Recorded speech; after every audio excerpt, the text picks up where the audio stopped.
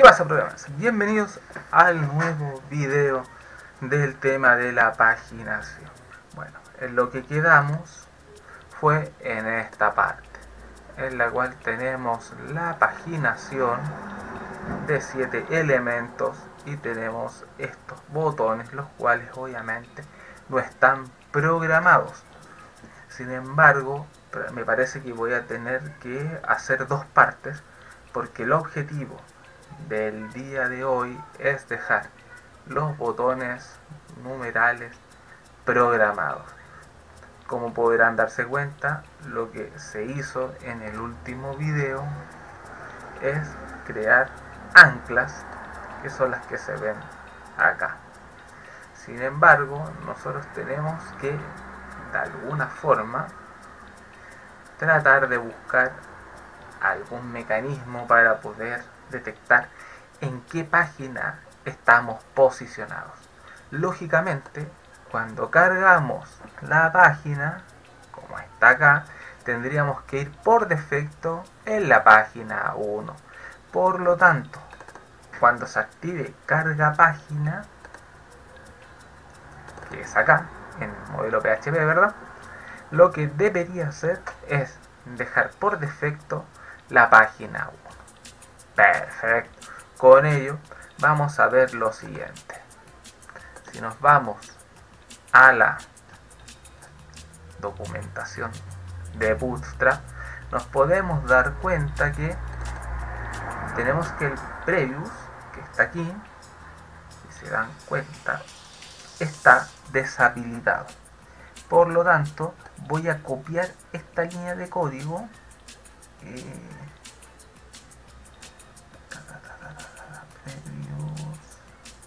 ahí está voy a copiar esa ancla para trasladarla a mi código fuente que es justamente esta ancla aquí. Perfecto. Y acá simplemente donde dice previous colocamos anterior. Luego la página 1 debería perdón, la página 1, en este caso está la 2, pero esta página 2 debería estar por defecto seleccionada. Por tanto, si se dan cuenta, estoy copiando todo lo que dice página 2 para que quede marcado de por, por defecto, por así decirlo. Sin embargo, en donde dice 2, yo colocaré el número 1. Perfecto. Por lo tanto, acá for i igual 1 debería empezar de 2 para pintar el resto de las páginas. Y de esta forma tendríamos listo la pintada que corresponde. Si comparamos esta operación, nos damos cuenta que 1 está eh, seleccionado por defecto. Anterior tenemos que ver la forma para que aparezca deseleccionado. Y aquí tenemos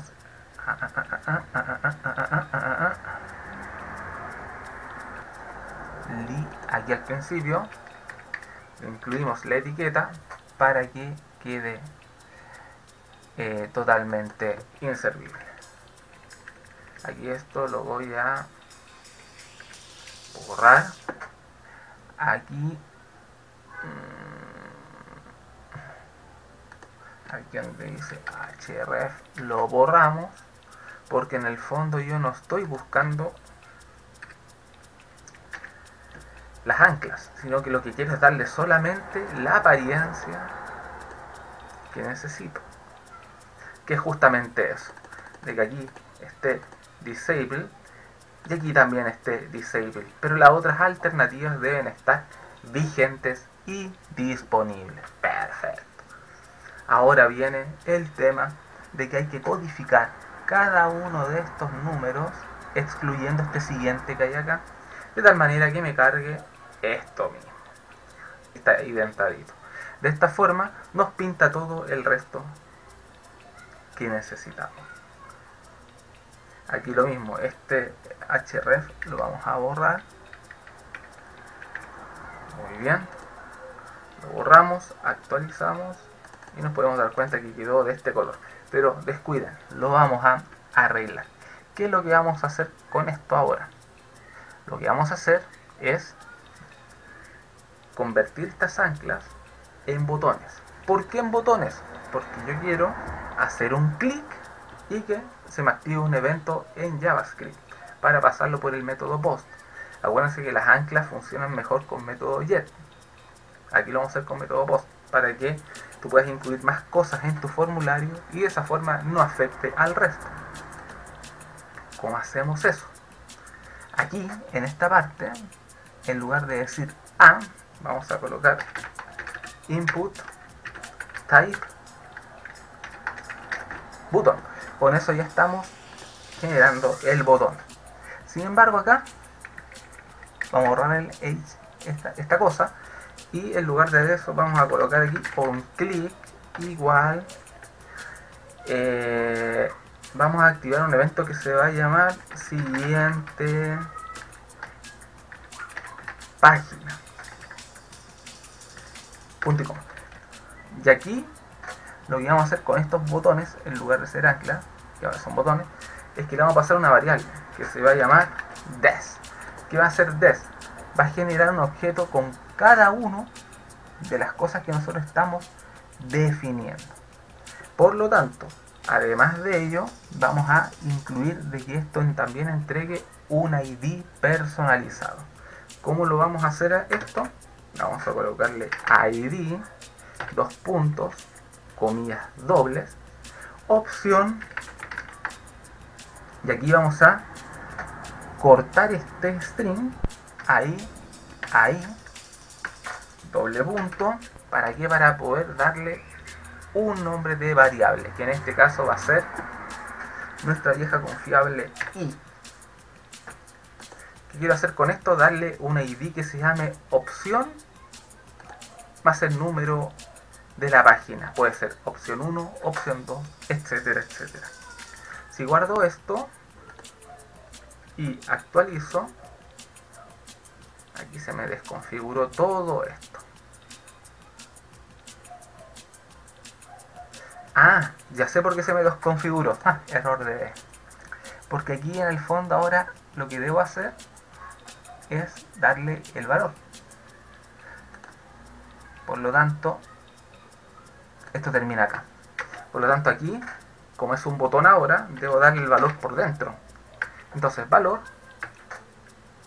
también en comillas doble, y aquí debo cerrar también las comillas acá, punto punto, para incluir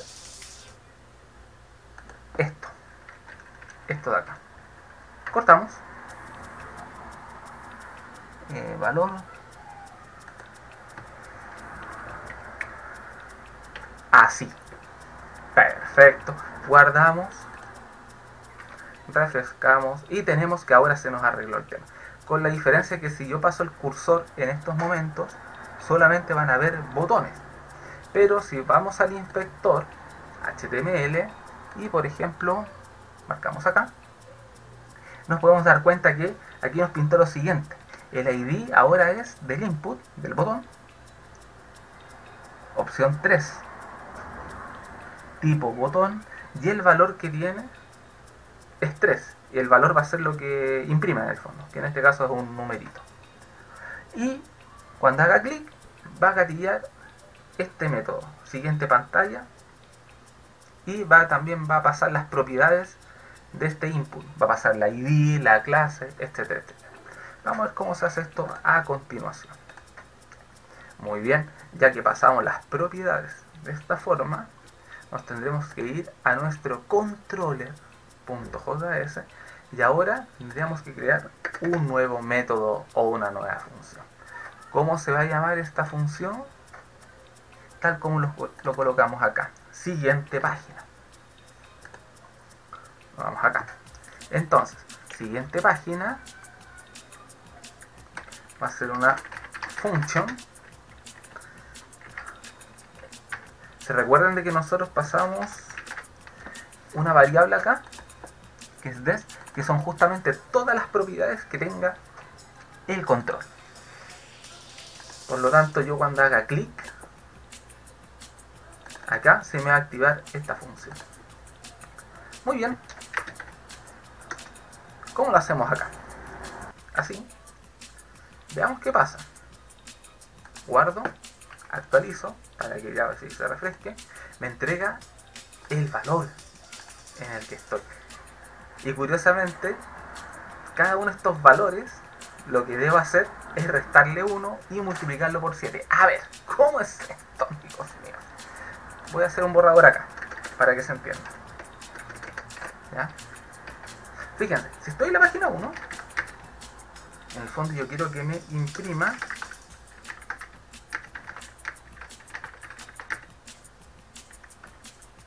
primero al séptimo, ¿cierto? Si estoy en la página 2, quiero que me imprima los registros octavo, hoy miércoles, al 16 creo que o no, sí, al 16 no, al 8, 9, 10, 11, 12, es al 14 tiene que ser, ahí, y así sucesivamente. Sin embargo, para la base de datos, el primer registro es el 0 y el séptimo registro es el 6 por ello yo cuando hago offset 6 perdón aquí. Cuando hago offset 0 en el fondo lo que estoy diciendo tráigame los registros del 1 al 7 porque de aquí empiezo con el límite de los 7 primeros registros por lo tanto, ¿cómo lo hago? si estoy en la página 1 lo que tengo que hacer para el offset, ¿cierto? es hacer lo siguiente eh, número de página debo restarle 1 ¿cierto? le resto 1 y a la vez lo debo multiplicar por 7 veamos acá abajo si yo quiero los registros octavo al 14 para la base de datos ¿cierto? el octavo es el posición 7 ¿cierto? entonces ¿qué pasa? de que aquí para la página 2 lo que debo hacer es número de página Vamos a copiar esto. ¿eh? Número de página menos 1.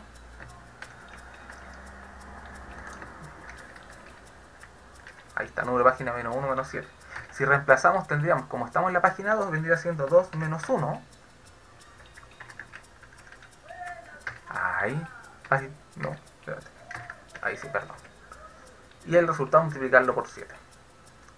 Justamente, ¿esto cuánto nos da? 7. Entonces, Allí está la magia. Esto es lo que nosotros debemos hacer. ¿Muy difícil? No es tan difícil. Para ello, vamos a hacer lo siguiente. Ya que, ya que esto está comentado y más o menos se entiende cómo es la fórmula, que en el fondo esto es lo que tenemos que nosotros ocupar, lo que vamos a hacer es esto. Como ya sabemos de que el siguiente evento también me toma los valores. Acá en este caso vamos a tomar el evento.value que estamos considerando. Lo que vamos a hacer es lo siguiente. Esto lo vamos a dejar ahí. Vamos a declarar una, una variable perdón, que se llame página. Que justamente se va a llamar, va a tomar, va a rescatar el evento.value y lo va a guardar en esta variable. ¿Por qué? Porque vamos a hacer un nuevo Ajax, señores. Sí, vamos a hacer un nuevo Ajax. Por lo tanto, vamos a robarnos un poco este código de acá para optimizar. École. Y aquí, en parámetros, lo que vamos a hacer, vamos a carga página número, de tal forma de que hagamos alusión de que este evento se va a activar cuando, cuando pinchemos un número método va a ser post siempre, url modelo.php, porque aquí lo vamos a tirar, ¿cierto? Y vamos a copiar este. Vamos a hacerlo así. El callback tenemos que modificarlo después. Bien, aquí en los parámetros no basta con eso. ¿Cierto? No basta. ¿Se entiende por qué no basta? Porque además tenemos que pasarle esta variable. ¿Cómo sabemos cuál es el número de página con el cual vamos a hacer el offset aquí? Tenemos que pasarle entonces otra variable más. Por lo tanto colocamos coma. No, no, colocamos coma. Perdón, me equivoqué. Colocamos un más.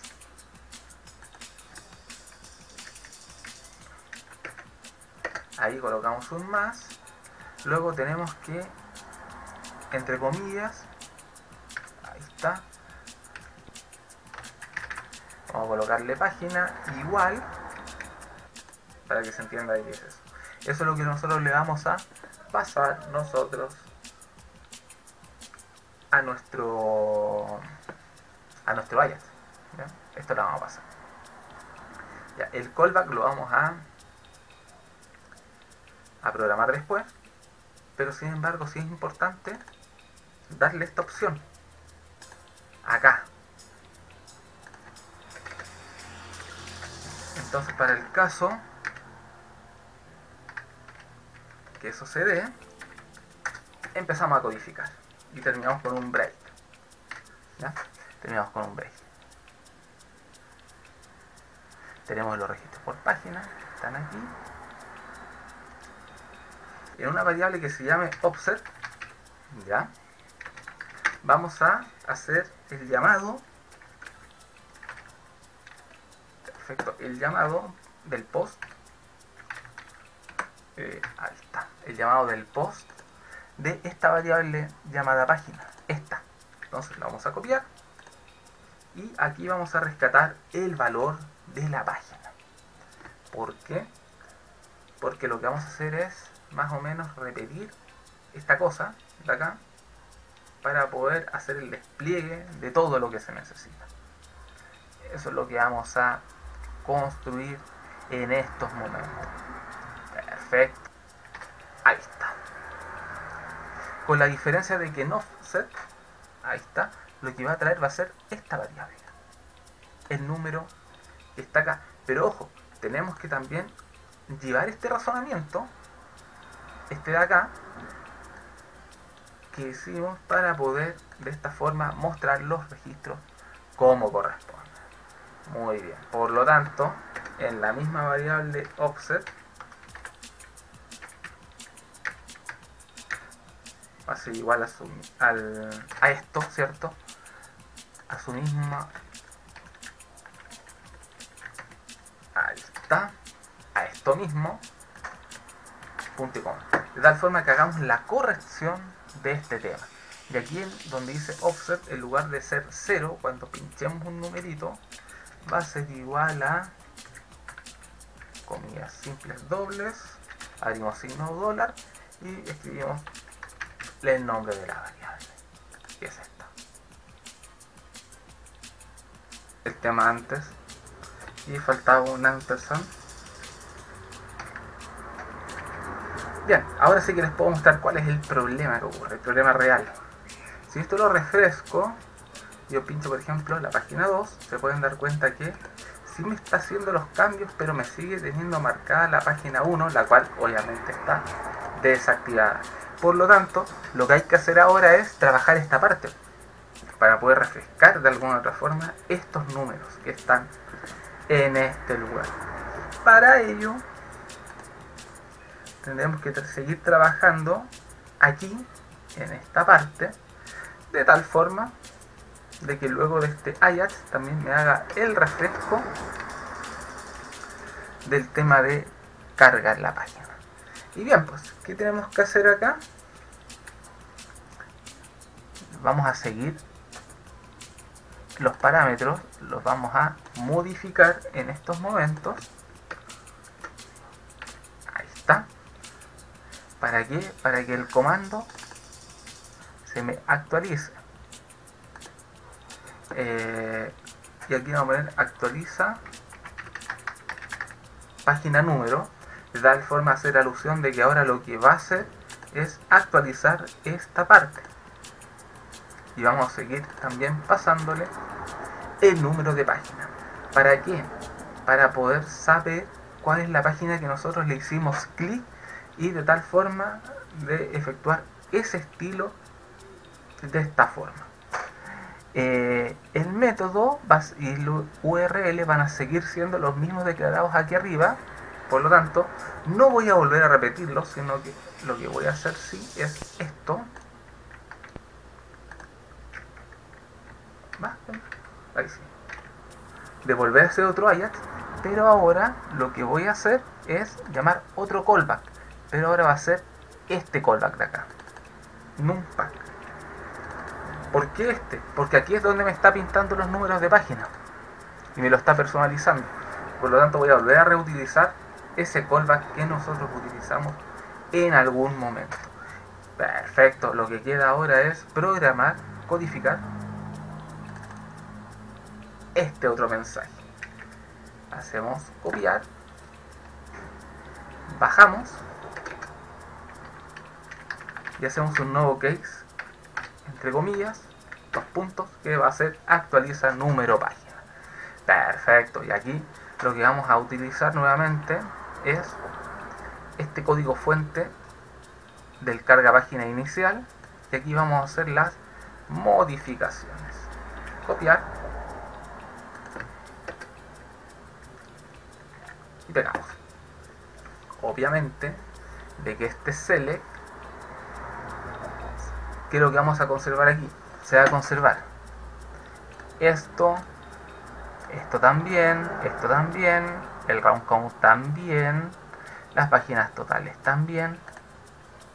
Todo esto vendría siendo más o menos lo mismo. Pero aquí es donde empieza la complejidad de este asunto. Aquí, obviamente que es la lista de páginas el que dice anterior ya no va a estar disabled. No, no va a estar disabled, sino que va a estar enabled. Entonces aquí colocamos false. ¿Qué más dice aquí? Anterior. Ah, esto es un ancla. ¿ya? Aquí lo que vamos a convertirlo en botón como lo hicimos anteriormente. Como hicimos anteriormente. Y aquí también tenemos que hacer varias cosas. ¿Se acuerdan que nosotros tuvimos que determinar el offset? Que lo tuvimos que trasladar de PHP. Bueno, aquí va a ser algo similar, con la diferencia que nosotros, esta página que nos estamos trasladando de acá, ¿verdad? Este de aquí, no en el fondo le vamos a cambiar el nombre de la variable, no va a ser offset, sino que va a ser página cliqueada, por así decirlo. De tal forma de que aquí me va a capturar, esta fue la página que nosotros le hicimos clic. ¿Por qué? Porque nosotros aquí tenemos que discernir para ver, para poder hacer esto. Si yo por ejemplo marqué clic en la página 3, entonces el 1 inactivo que está aquí debería ser ahora el 3 y el 1 volver a ser activo. Entonces, ¿cómo arreglamos eso? Lo vamos a hacer de la siguiente forma. Aquí debemos preguntar un if, un si. Si eh, este número de, de página cliqueada, ¿cierto? Es igual a la variable i que estamos recorriendo en este, en este for, ¿cierto? Si son iguales, entonces vamos a hacer una acción.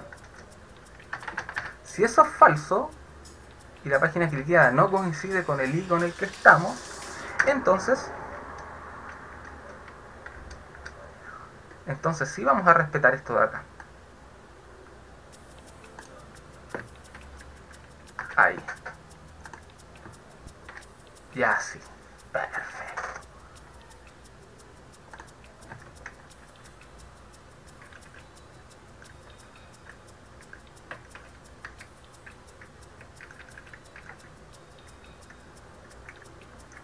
Ahí para que sea mejor identado. Perfecto. Y así sería este tema. ¿Qué pasa aquí? Si yo por ejemplo pincho el 3, yo no quiero que el 3 me quede disponible, sino que necesito que quede inactivo. Fíjense aquí, de que aquí el 1, ¿verdad? El 1 yo solamente como como solo lectura si lo quieren ver así. Y aquí empieza acá, de este li de acá, perdón, de este li de acá hasta este otro li. Perfecto, ahí. Esto lo voy a copiar. Aquí cerramos eso. Y lo voy a trasladar aquí. De tal forma que la variable lista página punto igual va a contener esto de acá. A ver. Aquí vamos a colocar comillas. Aquí la cerramos. Punto y coma y acá en lugar de ya, list class, ta ta ta ta ta. Aquí, en este punto, nosotros tenemos que reemplazar ahora el nuevo número que fue cliqueado. Ya no es el 1. Por lo tanto, hacemos lo siguiente. Borramos el 1. doble comilla simple. Punto punto. Y lo que va a mostrar aquí va a ser el i que corresponde. Entonces, este i, este numerito va a ser el que va a quedar bloqueado, por así decirlo.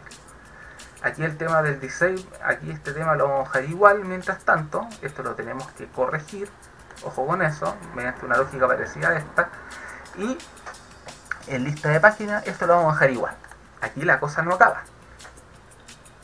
Porque si son observadores, se pueden dar cuenta de que anterior y siguiente no funcionan. Entonces, ese es el siguiente paso que hay que hacer, por así decirlo. Lo primero es que si nosotros ocupamos este tipo de cosas, debemos de establecer cuándo anterior se debe activar y cuándo se tiene que desactivar. Por lo tanto, esto lo hacemos acá, aquí en este paso. Fíjense que aquí por defecto anterior está desactivado. Por lo tanto, lo que debemos hacer es lo siguiente. Hacemos un salto de línea y hacemos un if. ¿Ya? Hacemos un if y un else. ¿Ya? Parecido vamos a hacer algo parecido a esto. ¿Ya? Por lo tanto, la condición esta la vamos a copiar. Pero hasta acá. ¿Cierto? Si la página cliqueada es idéntica a 1, significa que, acuérdense que aquí estamos viendo el tema del anterior, ¿cierto? Significa que anterior debería estar bloqueado, como siempre. Por lo tanto aquí vamos a inicializar esta variable, ahí está, perfecto. Menos mal que no lo borra. Cortar ahí. ¿Cierto? Sí, entonces página creada página cliqueada, perdón, es igual a 1, vale decir, si, si la página, la primera página, entonces debería aparecerme bloqueada esta opción. Sin embargo, si no es así, tenemos que inicializar esto, pero como si fuese un botón. Espera, acá, sino que, sino que el botón tiene que incluirme el valor valor anterior. Ahí sí. No, me equivoqué. Ahí sí. Eh, tiene que ser acá. Ahí está. Valor anterior. Por lo tanto, esta ancla y esta palabra que es anterior. Ah, ya. Quizás por eso. A ver si hago el save aquí.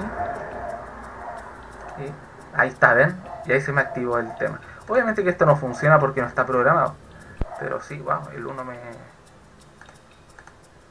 Perfecto, perfecto, perfecto. El 1 me hace desaparecer eso. ¿Por qué me lo hace desaparecer? A ver... Ah, porque aquí borré anterior. ¿Verdad que el ancla funciona de forma distinta? Harto cuidado con eso. Y ahí sí, está bloqueado aquí como 1 y como 2 está disponible. Lo mismo tengo que hacer con disable, de tal forma que esto sí me entrega el resultado que yo espero. Guardamos.